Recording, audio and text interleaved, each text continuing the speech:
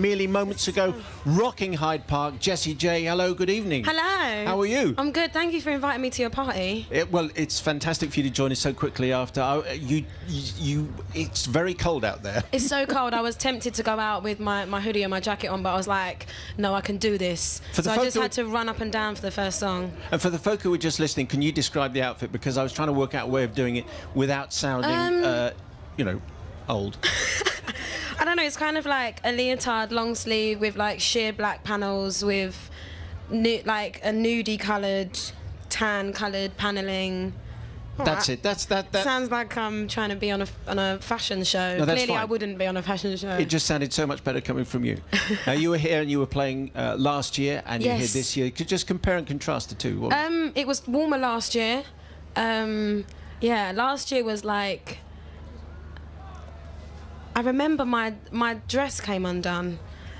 Um, I remember that. That was really embarrassing because my mum was like, "Next time, maybe you should sew the zip." So now I what always sew say. zips. So I learned that lesson. But last, you know what? It's so nice about doing Radio Two is that the crowd. It's a real challenge for me because I don't feel like everybody has heard my music before. So I feel like from last year to this year, I've seen the growth in, in people that have listened to my music now, um, but also just still that winning over new people and gaining new fans. That's exactly yeah. what James Blunt said when he came in. But he said he had a fantastic time because precisely that. It's not Yeah. just your hardcore. It's people who you have to. Hundred percent. That are people that are over. at the front to see the act two before you, three before you, after you.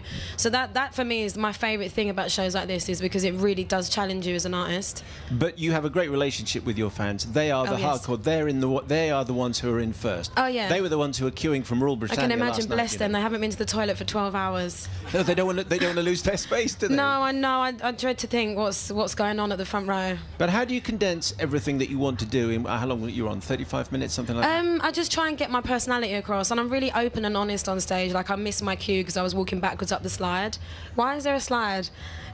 I, I, I don't know. It's fun. I, wanted to like sit on my bum and just slide down. Um, but I, I just feel like I try and give a set list that I feel like the audience will appreciate. Um, and you know, I I really try and cater for the audience. I, I try my best to just give them the best of what I think they want from me. And I think they respond because oh, it, Oh, yeah. it sounds as though you, you are very honest and very very Yeah. open, and you're not only just asking them to hug people, but also Yeah. you're very personal yourself. Well, maybe the people have like met the person they're gonna marry tonight. Do you think? You never know. Well, you- Honestly, you never know. You did ask them to snog each other, Yeah.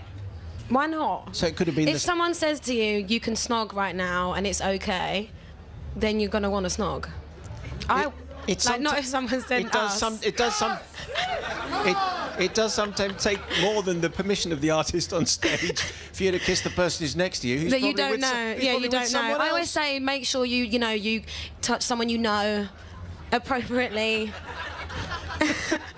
but I can't be in charge and control of everyone's actions. It's been a long day. Yeah, well, you could see, and you could see people, and when you did the Aerosmith song, Yeah. Uh, that was. That's know, one of my favourite parts. You know, I, I feel very honoured as an artist to sing songs like that, and I I love that moment where I look round and I just see people really loving the person they're with, or someone they they've never met that they're trying to love. Um, but it's a great moment to, to have that on stage. To be able to create that is great. And of all the acts who, who played it today, you were the sort of the most philosophical, or because you were talking about the importance of living a good life and all that kind of stuff. 100%. Why? Why do you? Why do you? Say I that? feel like as I've got older, I kind of hit 25 and realised that this life isn't just about singing anymore. I carry a responsibility, and I feel like I can't live my life, life for everyone else, but I'm very aware that there's a light on me and that many young people are looking up to me. So I, I, I live on the edge, but respectfully, and understand that. I have to play a part of knowing that what I do, some kids will copy.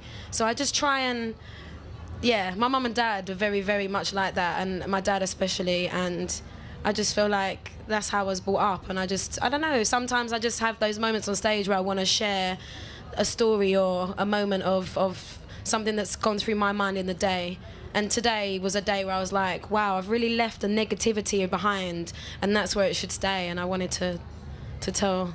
Tell the crowd. Well, I and- felt like I had to put on an American accent there. And they and they responded as as you could tell and Yeah. uh, uh, and as we could hear. What about the the new album, Jessie? What do we? Who are we Ooh, it's getting on that? exciting. It's you exciting you mentioned the, the new single, but that's Yeah, that's I mean. I'm not someone. I find it really awkward when you're like, "This is my new album," and all. Um, I'm not very good at that kind of thing. Um, but it is out in two weeks today. It's called Alive. Um, it's very honest. It's very mature. Uh, I wrote the first album when I was 18, and I'm nearly 26. So naturally, there's going to be a big growth in vocal ability. I've pushed myself and made sure that I've got better as an artist as well as you know a writer and. I feel like the songs that the people, like everybody's heard, you know, "Wild," "This Is My Party," "Excuse My Rude," um, aren't everything the album is. There's there's actually a lot more soul. There's 80s, 90s influence.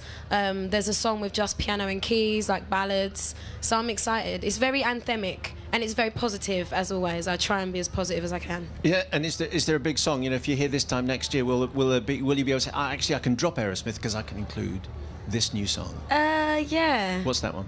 There's a song called Gold, which I love, and it's a lot of my stuff. I made sure this album, because I, I think people know that I want the audience to be very much feeling like they're on stage with me. Not literally, that would be crazy, but.